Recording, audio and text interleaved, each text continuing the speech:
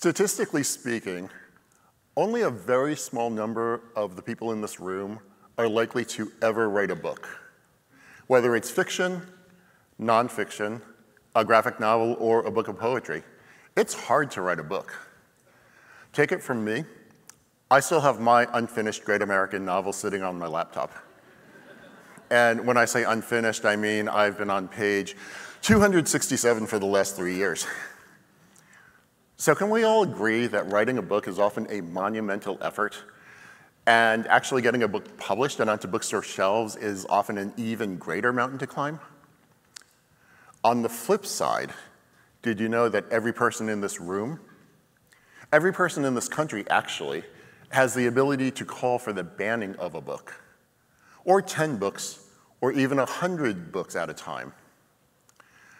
It's always easier to destroy than to create, but book banning can have devastating consequences to the readers who need those books most. I'm leveraging my interests in book collecting, exploration, and technology to preserve banned or threatened books in secure data vaults located deep in the Arctic permafrost on storage media designed to last 2,000 years or longer, or eternity, whichever comes later.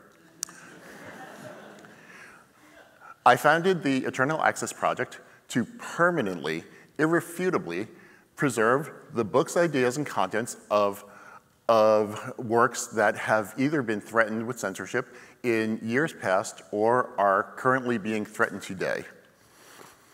These books will be available for future generations should all other copies of a book become unavailable or cease to exist.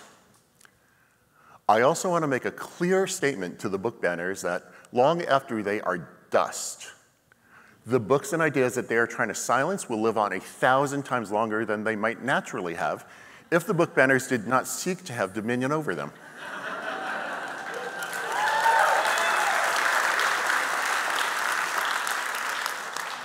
Because book banners are fighting battles today against words and ideas, I want to do my part to ensure that they lose the war.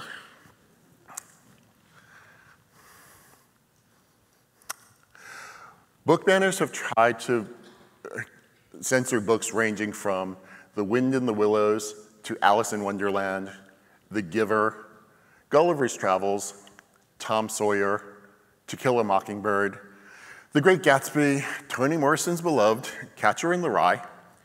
They've even tried to ban the books 1984 and Fahrenheit 451. Do you realize how hypocritical it is for the thought police to ban a book about the thought police and burn a book about book burning? The idea for the Eternal Access Project led me north of the Arctic Circle to Svalbard, Norway, which is located halfway between Northern Europe and the North Pole. I first learned about Svalbard when I was researching the Svalbard Global Seed Vault, which is oftentimes referred to as the Doomsday Vault, containing millions of seeds for every important crop variety in the world today. I learned that there was also a secure data vault on Svalbard, and that got the gears in my head spinning. I thought, somebody ought to be storing banned books up there for safekeeping. And then I remembered if you want something done right, you have to do it yourself. The Eternal Access Project collection is located in Longyearbyen, which is the northernmost city in the world, located on Svalbard.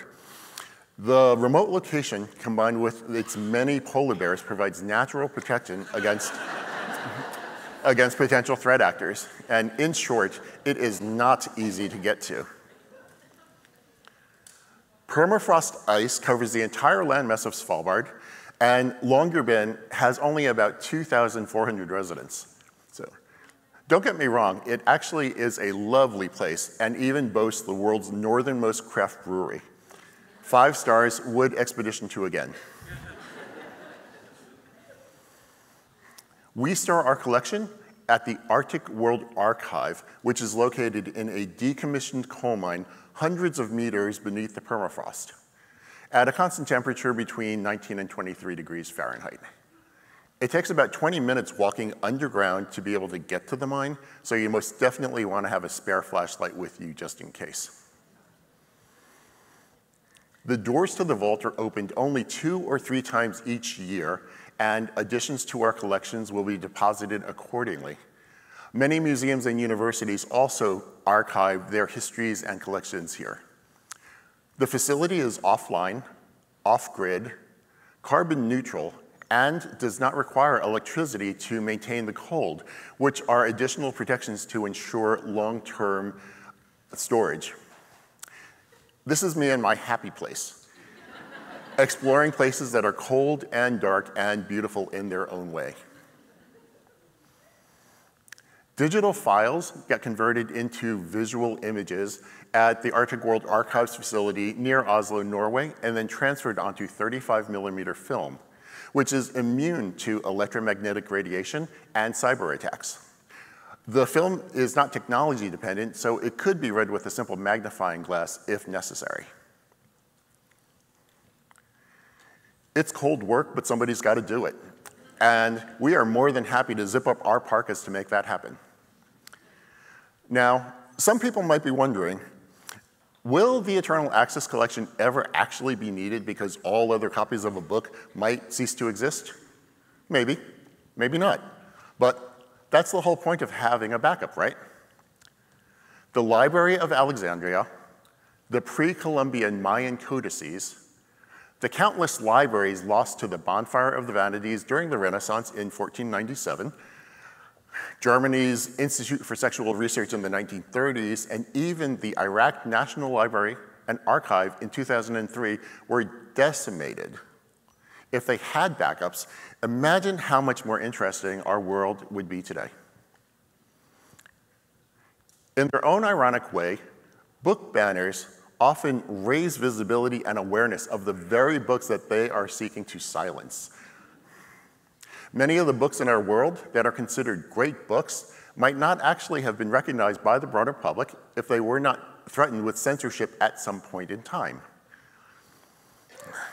Because book banners are trying to silence and erase words and books from our memory, I instead want to amplify those voices for generations to come.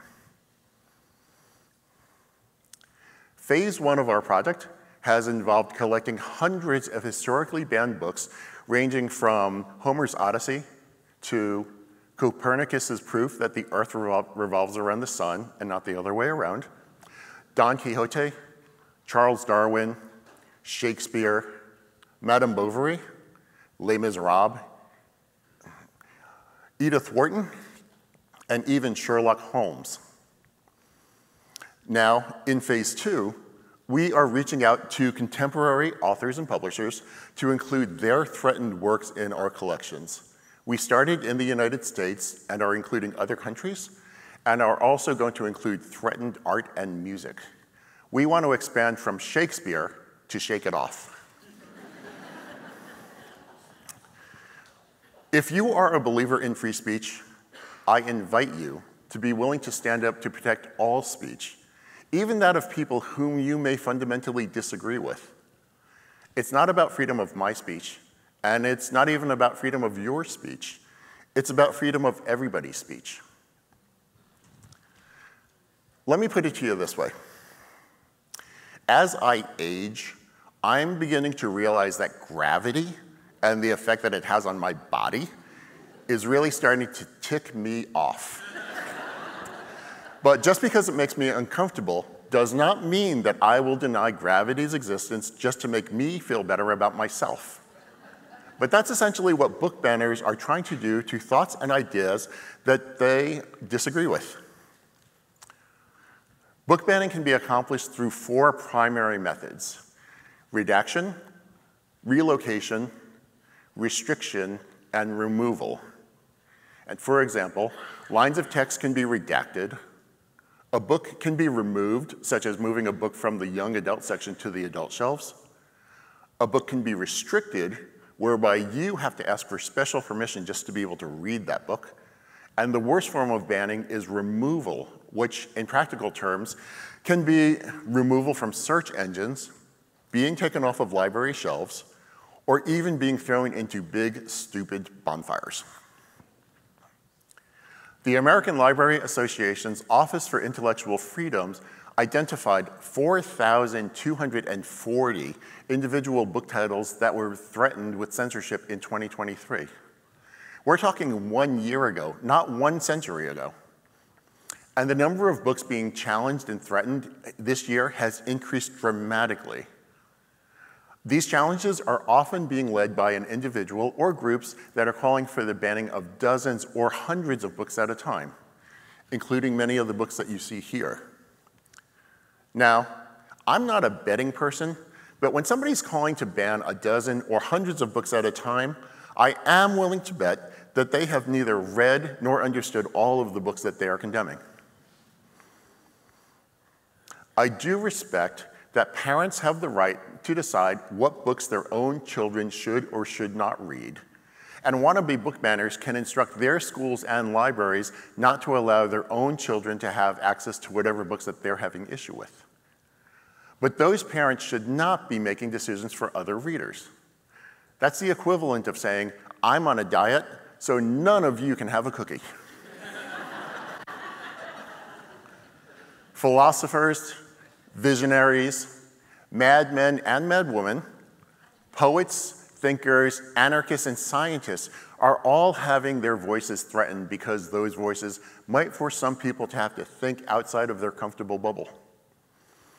About half of the books being threatened today are related to LGBTQ plus and BIPOC voices. Race and racism are another very large category.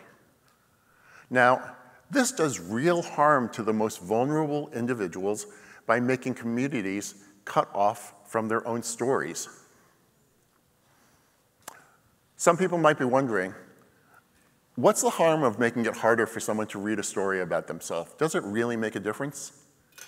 The answer is yes, it really does make a difference. Let me ask you this. When you were growing up, was there ever a time when you felt invisible? Or that you were an outcast when everyone else was popular? I know that I did as a boy.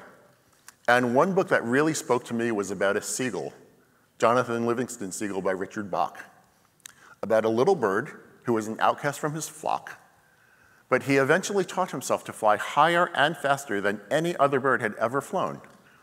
And somehow it resonated to young me. I still recommend that book to some of my friends when they're feeling down. When young people cannot see themselves reflected in the stories that they read, or when the images that they see are negative, distorted, or even mocked, that sends a powerful message to people about how they are devalued in society. And that's also particularly detrimental to younger people who are still developing their own personal identities, values, and worldviews.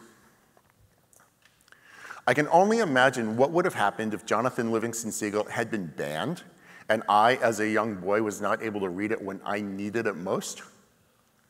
I do know for sure that I would not be the vivacious, infinitely curious, ruggedly handsome dreamer standing in front of you today.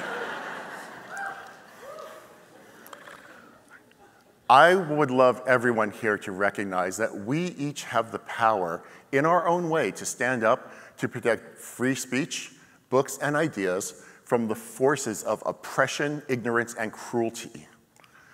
If you want to take your own personal stand, thank you. if you want to take your own personal stand against book banning, I do have some suggestions. Read a banned book. Talk to other people about how you feel about book banning. Support your local school boards. Vote. If you don't already have one for your town, go out and get a public library card and thank teachers and librarians for their service. So, I ask you now, will you take a stand when our children, our communities, and our world need you most? Thank you very much.